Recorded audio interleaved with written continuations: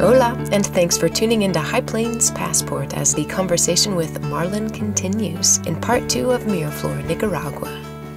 If the food on the table does not come from the flourish in his garden, it likely comes from a neighbor. The village is set up to be sustainable within, without a supermarket. For example, if we produce tomatoes, uh, potatoes, banana, coffee, uh, we don't need to go to the supermarket and to buy this product. So it's better for the economy and the family because we have uh, better food in the kitchen for the family and the, for the visitors. Throughout my time with Marlon, he frequently uses the word visitor and tourism. And I feel as though he's about to be highly honest with me. Tourism is needed, yes, he knows this, and that makes him somewhat nostalgic. There are advantages and dis- disadvantages uh-huh. because sometimes I am scared to learn our culture. no, yeah, because I love Nicaragua and I love my food and I love my culture.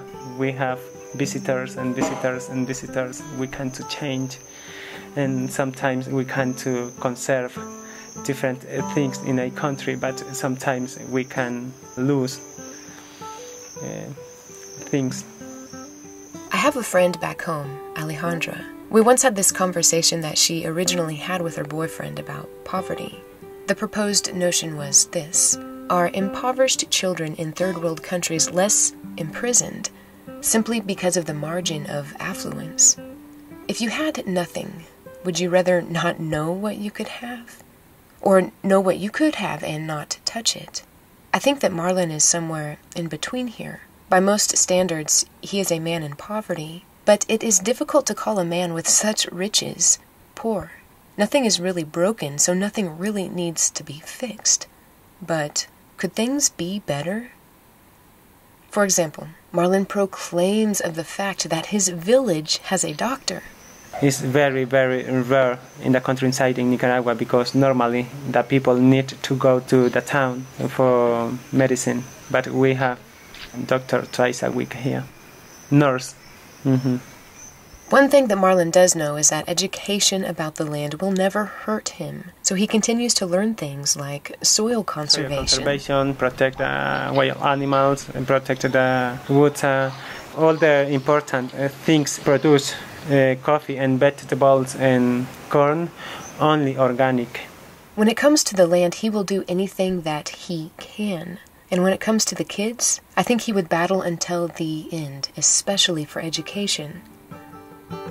It is amazing the things that we take for granted, like at least we have schools for our children, running water, supermarkets. Marlon doesn't have any of these luxuries or conveniences to us, so convenient that sometimes they are actually inconvenient. Please don't misjudge what I'm saying and think that I'm feeling sympathy for my newfound friend. No, quite the opposite. For richness doesn't always come in the form of finance, but fellowship. Miraflor has been amazing. This place has bred some really beautiful people. The bus, thankfully running today, rolls us back down the mountains into Esteli and onward. I'm taking with me a handful of meaningful memories from Miraflor, and I will continue to carry with me hope for Marlon, his family, and the rest of the region that they continue to walk gracefully into the one thing that stays the same change.